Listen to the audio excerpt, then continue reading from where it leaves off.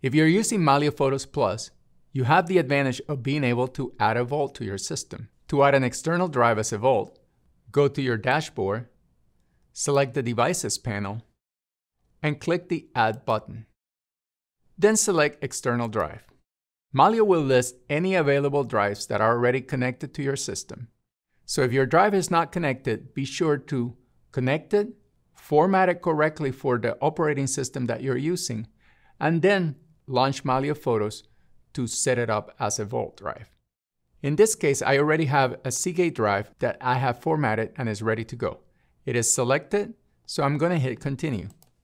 Once I select a drive, Mylio will analyze the storage on that drive, compare it against the size of my library, and recommend the best use of that drive. In this case, it has chosen Vault, which is what I want, so there's nothing else to do. I'll simply click on Looks Good, and now my device is being set up as a secondary Vault.